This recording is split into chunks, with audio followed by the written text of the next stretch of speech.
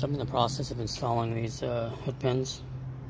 Uh, and I've uh, using these pre-drilled holes that are already on the frame. And I already installed uh,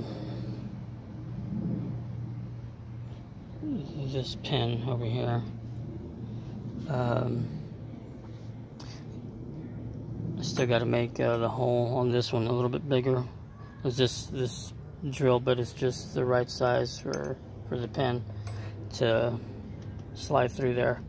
So I just got to drill that out and then continue using that step drill to get the hole as, as uh, smooth as that is. Otherwise, if I just use a drill, it'll be all jagged edged and, you know, nasty looking. Uh, so this job's actually pretty easy and fortunate for me.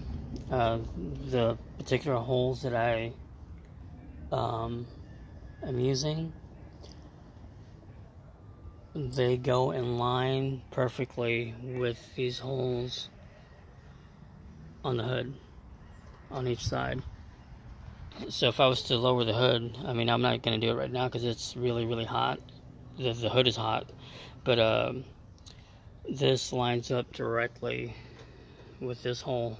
It, it'll it'll just slide right in sorry it'll yeah it'll just slide right in so when I do drill the holes uh, on the hood, I just gotta, you know, pop the drill through there. That's pretty much easy.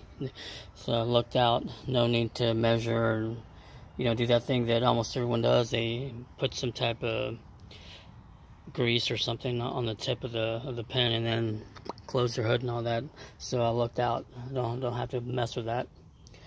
But uh once I get this this hole drilled proper to the proper size and get this inserted and get those holes uh, drilled on the hood, I'll get every, all this other the top end uh, um, bolted on and I'll, I'll be right back. Okay. Well.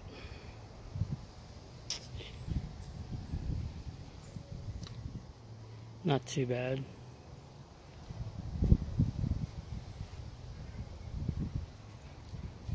I just got to actually physically remove the actual latch or the locking mechanism and all that because it's no longer necessary but yeah that was a fairly easy easy thing to do so but yeah. Thanks for watching. See ya